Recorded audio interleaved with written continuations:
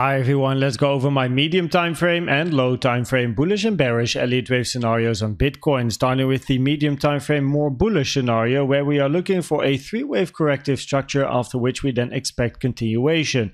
Now there's two options over here. We have a WXY or an ABC. Now currently on the chart I'm looking for this to be a WXY over here which is a 3 3 and then you're looking for another three wave structure to the downside. The maximum target for a wave Y, however, is the 1.618, with the most common target being between the 1 and the 1.236 trend-based fib extension taken from the high to the low of W to the high of wave X. The 1.618 is also a rare target, which has now been hit, which is then a maximum target, and you really want to see a move to the upside and not continuation to the downside. The problem, however, is the subdegree count inside this wave structure. Because if we look at this structure over here, we have to count a three-wave structure because a wave Y is a three-wave move. That means that if this is an impulse to the downside, we're going to be looking for an ABC structure and then an A, B, and then you want to see another five-wave structure to the downside. Now this being an ABC and then finishing over here was valid. It hit the 0.618 trend-based fib extension from the high to the low of A to the high of B, which is a rare target for a wave C. But the fact that price now took the low once again is lowering the probabilities of this being an ABC. And if this is going to be a wave C, then we're looking at a 1, 2, 3, 4, 5 wave move because the 1.618 over here is then a target for a wave 3 in a 1, 2, 3, 4, 5, which as you can see is far below the wave Y target. And if we think about potentially a diagonal, something like this, then we're talking about an ending diagonal because we have an A, B, and then an ending diagonal in a wave C. And an ending diagonal is only allowed to have a three waves in each of the separate wave structures. So a 3, 3, 3, 3, 3. But that is already invalidated with this push to the downside over here, which very much looks like an impulse as well as what we have on the lower time frames at the moment. So not looking too great, uh, these scenarios over here. And if we then look at, for example, example, an ABC scenario, well, I'm going to remove everything uh, from this particular WXY scenario as it doesn't look that likely. In an A, B, and then a wave C scenario, we're thinking about an expanding flat. So in this particular scenario, this wave C can be a five wave structure and then a one, two, three, four, five. But the problem here is this wave three. It's not allowed to be the shortest wave in an impulsive structure. And that is important because if we take a trend based fib from the high to the low to the end of the range we just had, then the one to one is the invalidation target of a potential wave C at 28K. So if price would move towards the downside and hit this level, then this being a C wave is also invalidated. Usually the third wave is the highest volume, most impulsive, biggest wave in an impulsive structure. But if this is a wave C, then we have again one, two, three, four, and this wave five is not allowed to hit this level. That is the invalidation of a potential ABC. And if that level gets hit, then the probabilities for the more bearish scenario are going to increase. This bearish scenario over here is looking for a expanding flat in an A, B, and then a wave C to the downside, where in wave B, we also have another expanding flat in a three-wave structure ABC, where we have this five-wave move to the upside. After wave B, you then expect a 5-wave move to the downside in a wave C, where the most common target area for C is between the two 1.618s, sitting between 23.4k and 22k. And if we look at the target areas then around this wave C target area, you can see we do have a blue box for some additional support, sitting between 28.8k and 22.6k. If we look at this volume profile, it starts to become very, very, very important because price broke out to the upside, backtested the value area high of this volume profile over here from this part of the range, all the lines after I uh, put on the chart myself. So it's a volume profile till this part over here. And you can see the value area high has been tested. Then we had a bit of a move to the upside, but we might be on the edge now of losing the value area high. And if you lose the value area high over here, then there's a high probability of going to the point of control or the value area low sitting at 27.9k or 26.2k. Potentially a backtest can then also create a short setup as we are then simply trading the range really. So you have a move to the downside, a backtest, and the backtest could be a potential short entry when trading ranges where the stop loss is somewhere safely above. And then you're going to be looking for a move to the downside downside. Of course, no financial advice. You trade you with whatever your entry requirements are. Maybe you are looking for a local market structure change over here or more bearish CVD divergences, whatever it is. But in a range environment, once the value area high is broken, the point of control and the value area low are the next R areas to look for. And if you look at the additional support areas, then around the point of control, we don't have too much support. The real big support box I have is between 26.8k and 27.4k. And below that, at the value area low, between 26.2k and 26.4k. If we go to the low time frame scenarios, start with the more bullish one, then over here we also see a little bit of a problem because we move to the downside in a straight line. And as explained in my video yesterday, if price is moving down in a straight line, the probabilities of this being an impulse increase and therefore the end of the corrective structure, the probabilities for that also increase.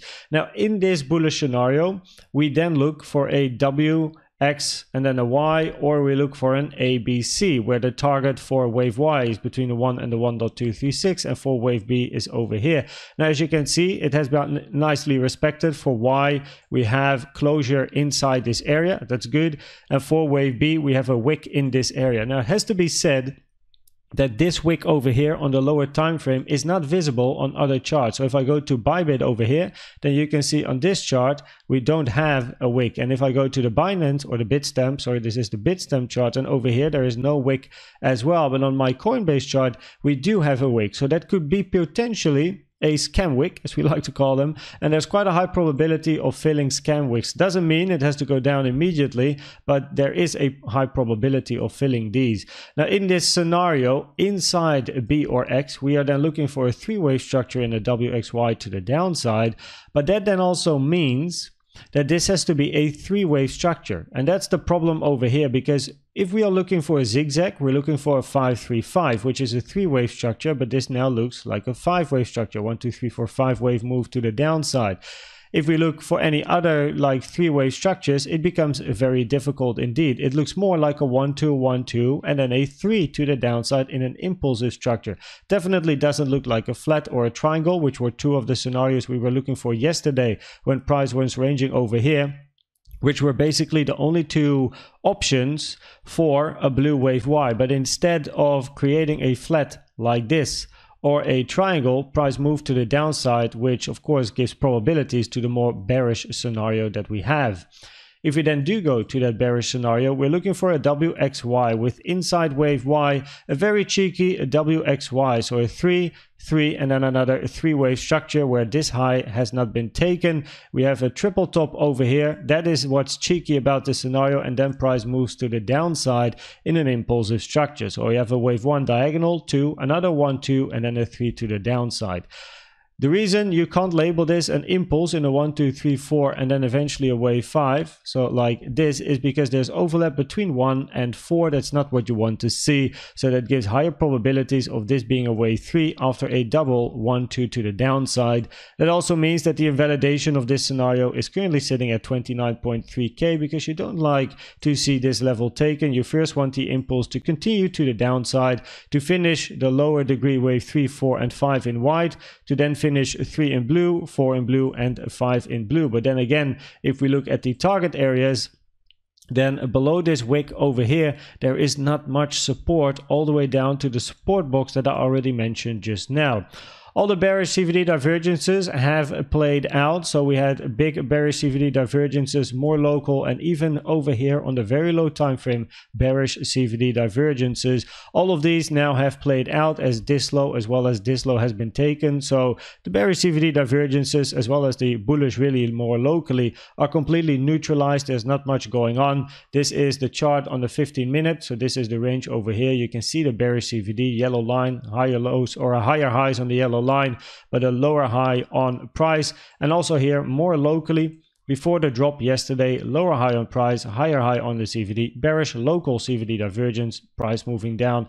And then throughout my night, we had a push towards the upside, again creating bearish CVD divergences over here with this high, lower high on price, higher high on the CVD, more bearish CVD divergences. And of course, if you continue to see this, there's literally no reason to long, really. I mean, CVD divergences show market orders being absorbed by bigger limit long or short positions. And yeah, the shorts are, or the longs, market longs are being absorbed for pushes towards the downside. More locally, the CVD looks pretty crazy. So we have over here the yellow line right moving to the upside and the blue line over here actually moving to the downside but after a after an impulsive move like this, I never really look at the CVD. It's not really too trustworthy. I prefer to see a bit longer, like a bit more of a range before I start looking at these CVD divergences again.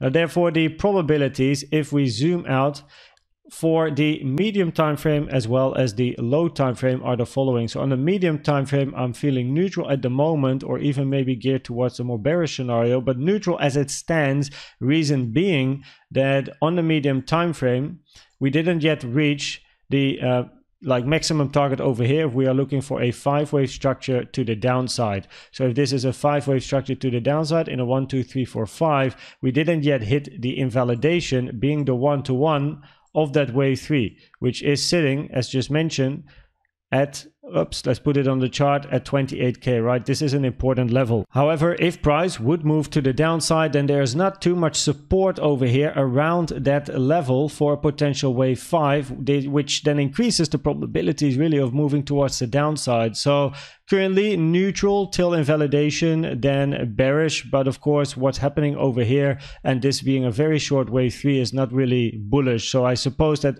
I wrote neutral, but it's like a bit more towards the bearish side. And then if price would move towards the downside, we have to look at the reaction of at the target box, but also how it moves towards the target box.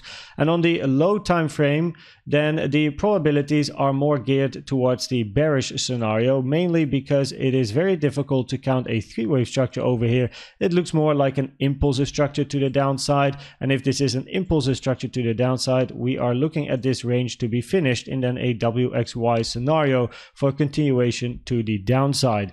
I hope this video was helpful or valuable to you. Please check out the most recent educational video I've made about the best trading indicator you can use in my opinion, which is the CVD. And for now, thanks for watching and subscribing and I'd like to see you at the next one. Bye bye.